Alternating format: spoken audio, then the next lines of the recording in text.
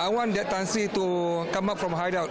Uh, he know that we are being looking for him, and he's uh, been uh, running here and there.